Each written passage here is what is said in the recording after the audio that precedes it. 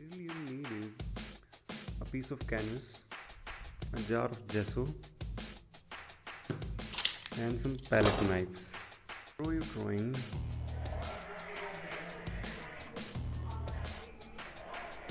with charcoal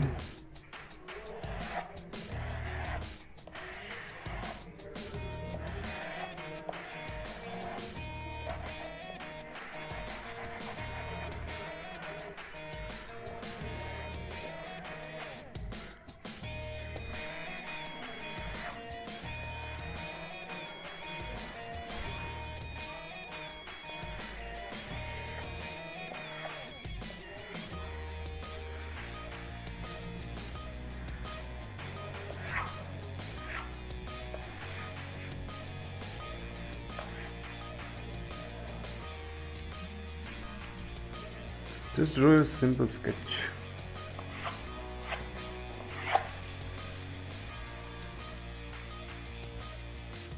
Okay, now once you're ready with your drawing, take your gesso, take the jar of gesso, put some gesso with the help of palette knife, or you can do this way. I have a little amount of gesso here. Now I can spread it with the help of palette knife all over my canvas.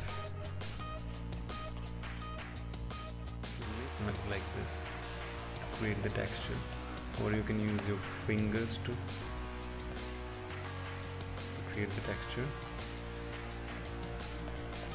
all over the canvas.